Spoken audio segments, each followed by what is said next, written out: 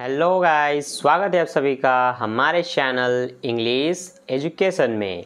आज हम सीखेंगे हिंदी नामों को इंग्लिश में लिखना और आने वाली कुछ दिक्कतों को हमेशा के लिए दूर कर देना, ठीक है? तो क्या क्या दिक्कतें हो सकती हैं? दिक्कतें ये होती हैं कि जब हिंदी में कहीं पर क लिखा हो, उसके लिए आप कई बार सिर्फ़ के का इस्तेमाल होता है, कई बार के के साथ ए लगा होता है। जबकि के के साथ है तब बताया जाता है जब अ की मात्रा लगा हो। और कई बार तो अ की मात्रा का मतलब बच्चे ये समझते हैं कि के डबल ए होना चाहिए।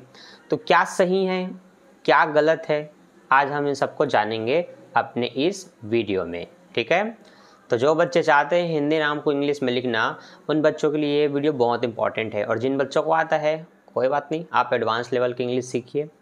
तो ये है बेसिक सबसे बेसिक छोटे बच्चों के लिए। तो जिनके घर में छोटे छोटे बच्चे हैं, जैसे कि आप इस इमेज में देख रहे हैं, इनके लिए वीडियो बहुत इंपॉर्टेंट है, ठीक है? तो चलिए, आगे बढ़ते हैं हमारे वीडियो में। चलिए, पहले हम ये सीखते हैं कि जब कोई व्यंजन आधा हो तो उसको इंग्लिश में लिखना कैसे है? जैसे कि मैंने लिखा क्या और मैंने लिखा क्यों। तो जब आपको आधा का दिखे तो आपको सिर्फ़ उसके लिए जो इसका स्पेलिंग होता है तो क का होता है के तो आपको लिखना है के दोनों में ही। यह को आप इंग्लिश में वाई कहते हैं, आ की मात्रा है तो आपको ए लगाना है। वैसे, शब्द के अंत में जो भी व्यंजन होता है, उसके साथ ए नहीं लगाते, अगर वो पूरा लिखा हो, सिर्फ़ उसका स्पेलिंग लिखना रहता है। लेकिन अलग से अगर आ की मात्रा दिखे तो आपको लगाना है, ये नियम याद रखना है। तो ये हुआ क्या? क्यों लिखना है? तो आधा का के लिए के लिख लिए तो य के लिए आपको वाई लिखना है ओ की मात्रा के लिए आपको ओ लिखना होता है ये हो गया क्यों? ठीक है? अब इसी के जगह, अगर यहाँ पर लिखा होता इस तरह से,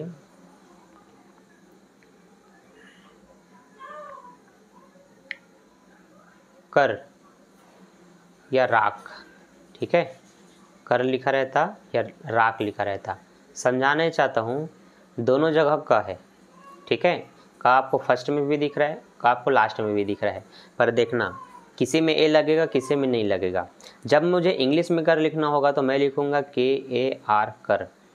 जब मुझे राख लिखना होगा तो मैं लिखूँगा आर ए के अब यहाँ पर देखो, यहाँ पर के के बाद ए लिखा है मैंने, पर यहाँ पर मैंने नहीं लिखा। क्योंकि यहाँ पर लिख दूँगा तो ये गलत हो जाएगा। लेकिन अगर मैंने यहाँ नहीं लिखा है तो ये सही है। अब ऐसा क्यों हुआ? ये डाउट आपके मन में होना चाहिए। समझते हैं। जब हमने ये देखा कर तो यहाँ पर क पहले स्थान पे है। और जब क से शुरुआत हो क शब्द के अंत में नहीं क शब्द के शुरुआत में हो। तो क के लिए आपको के लिखना है और चूँकि शुरुआत में तो आप उसको ए लिखेंगे तब पता चलेगा वो पूरा का है। अगर आप सिर्फ़ क लिखते हैं मतलब के लिखते हैं इसका मतलब वो आधा है। तो जब तक आप उसमें की मात्रा नहीं लगाएँगे ये नहीं पता चलता कि ये पूरा लिखा है कि नहीं। तो हमेशा अगर कोई व्यंजन शुरुआत में आ, किसी शब्द की शुरुआत किसी भी व्यंजन से हो रही है और वो पूरा का पूरा है तो आपको उसके व्यंजन के स्पेलिंग के साथ साथ ए लिखना ज़रूरी है। आई बात समझ? लास्ट वाला भले पूरा लिखा हो, पर लास्ट वाले का सिर्फ़ स्पेलिंग लिखा जाता है। जैसे कि र है, र को आप आर बोलते तो आपने सिर्फ़ आर लिखा। ठीक है? उसी तरह से ये र है, ये मैंने आर लिख दिया। आ की मात्रा है, इसलिए मैंने ए लिख दिया। अब आप बोलेंगे, यहाँ मात्रा नहीं था, फिर भी ए लिखे। यहाँ पर एक और होना चाहिए। तो हाँ आप बेसिक लेवल पे हैं तो आप लिख सकते हैं आर के साथ डबल ए लेकिन एक ए से ही पता चल जाएगा कि वो राख है। ठीक है? लेकिन आप डबल ए लिख देंगे, तब भी गलत नहीं है। आप इस तरह से राग भी लिख सकते हैं। तो ये आर आर डबल ए और ये के राग। लास्ट में क्यों नहीं लगाया? क्योंकि जब शब्द के अंत में कोई व्यंजन हो तो उसका सिर्फ़ स्पेलिंग लिखते हैं। एक ही मात्रा नहीं लगाते। ये होता है नियम। आई बात समझ? ठीक।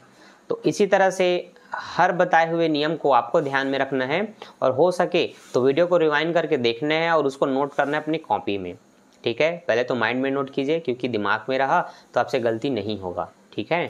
तो कॉपी में होने से ज़्यादा अच्छा आपके माइंड में हो, लेकिन हमारा माइंड ऐसा कि हम कई चीज़ों को भूल जाते हैं तो भूलें, इसलिए आपको लिख करके रखना ज़रूरी है, ठीक है बच्चों? चलिए, आगे बढ़ते हैं।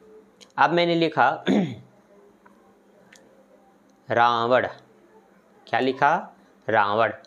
तो र के लिए आप आर, आ की मात्रा इसलिए ए, व के लिए वी पूरा व लिखा है इसलिए ए लास्ट में अड़ा है, अड़ा के लिए आप एन लिखते हैं।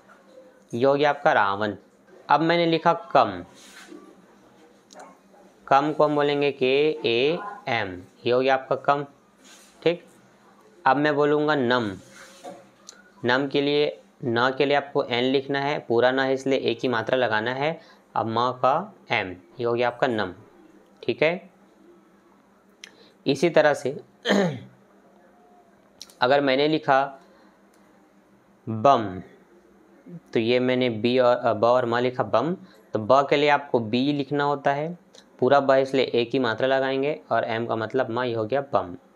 ठीक है? उसी तरह से अगर मुझे गम लिखना है तो ग के लिए आप इंग्लिश में जी लिखते हैं। पूरा ग इसलिए एक ही मात्रा और म के लिए एम ठीक है? तो लास्ट वाला भले पूरा लिखा हो, उसमें ए नहीं लगाना है। ये आपको याद रखना है। उसी तरह से मैंने लिखा अगर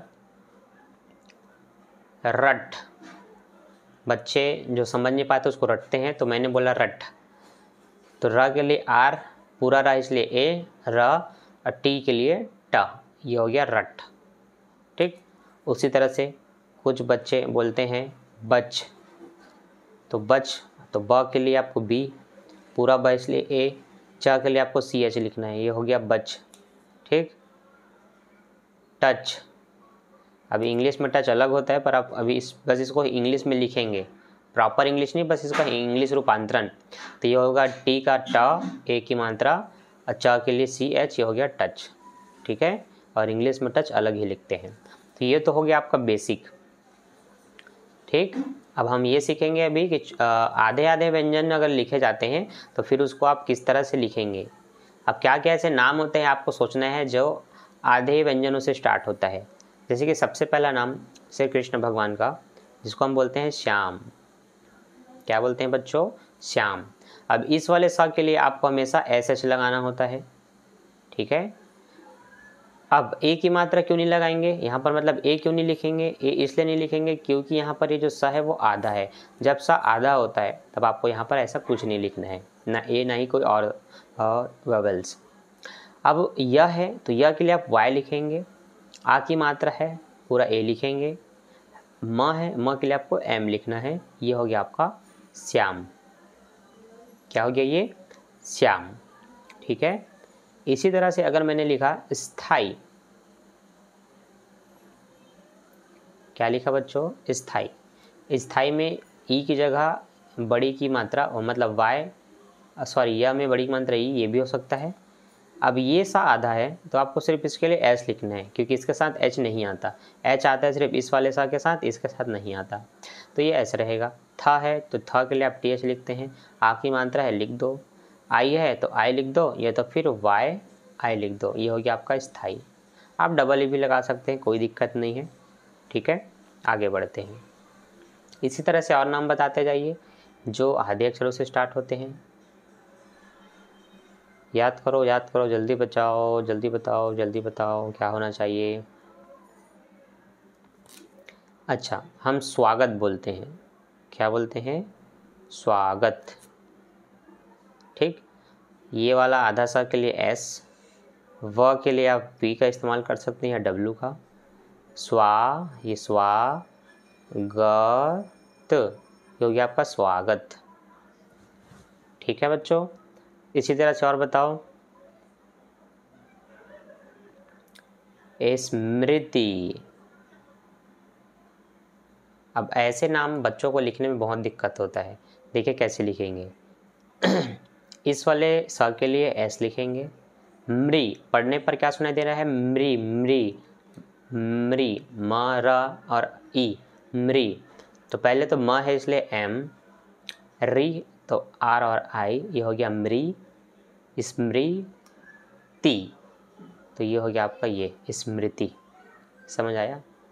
इसी तरह से आपको बहुत सारे नाम लिखना है। अभी मैं आपको इसका इस पूरा आ, एक सीरीज़ दूँगा जिसमें आप आधारा वाली आधारा की मात्रा हो जिसमें ऐसे ऐसे आप नामों को लिखेंगे जैसे कि कृपा आपको लिखना होता है ठीक है? कृपा तो क है पहला व्यंजन इसलिए के।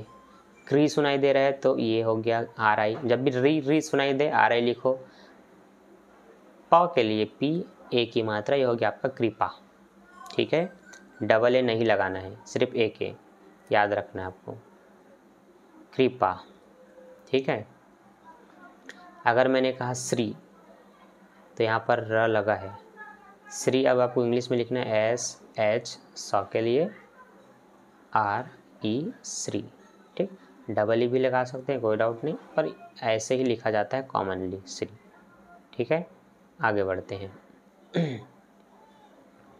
अगर लिखा है प्रीत, क्या लिखा है बच्चों? प्रीत लिखा है। या सॉरी, प्रेम। अब आपने ऐसा तो दो बार देख लिया, अब ऐसा वाला देखिए, ये भी आधा रहा होता है। ठीक है? तो अब इसको इंग्लिश में कैसे लिखेंगे? प है ना, जिस पर रा लगा है तो पहले तो व्यंजन होना चाहिए तो पी। रा है, तुरंत उसके बाद तो आर। एक ही मात्रा है, इसलिए ई। म है, इसलिए एम। ये हो गया प्रेम। ठीक? अब उसी प्रकार द्रव्य। क्या लिखा है द्रव्य। तो द के लिए आपको डी। क्या लिखना है बच्चों? डी।